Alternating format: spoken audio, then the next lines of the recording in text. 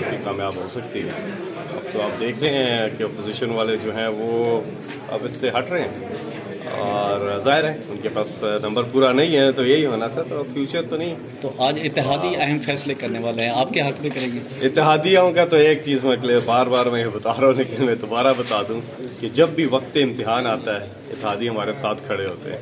तो बाकी उनकी अपनी आइडेंटिटी है पाकिस्तान मुस्लिम लीग कायद अजम की अपनी एक शनाख्त है एम क्यू एम पाकिस्तान की अपनी एक शनाख्त है अपने फैसले करते हैं। लेकिन जब भी वक्त इम्तहान आता है वो हमारे साथ खड़े होते हैं और इस बार भी वो हमारे साथ ही खड़े होंगे। कौमी असम्बली का इजलास कब बुला रहे हैं बहुत जल्दी बहुत जल्दी। तेईस के बाद या तेईस से पहले? आ, ये पहले ही बुला लेंगे और आ, ये कौमी असम्बली का इजलास मेरा ख्याल है कि within next few days बुलाया जा रहा है विद इन नेक्स्ट फ्यू कोई रुकावटें वगैरह तो नहीं होंगी? कोई एम वगैरह कोई गिरफ़्तार तो नहीं होंगे अचानक नहीं नहीं नहीं नहीं नहीं ऐसी कोई चीज़ नहीं। नहीं ये कोई डेमोक्रेटिक राइट है जो वो इस्तेमाल कर रहे हैं। सर जो लोग जो एम नाराज़ हैं हुकूमत से उनको रोका जाएगा क्या? हमारे सारे जो कार्ड्स हैं वो हम आपको अभी बता दें। हम लेकिन ये बता सकते हैं कि कोई भी गैर कानूनी काम कोई भी नहीं कर रहा ठीक है?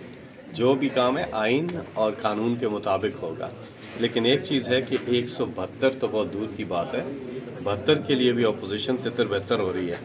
और एक सौ चौवन जो है ना एक सौ चौवन का नंबर वो क्रॉस नहीं कर सकेंगे। जी हाँ ये आप देखिएगा। और जी। सेंट्रल मॉनिटरिंग यूनिट जो प्रेस इन्फॉर्मेशन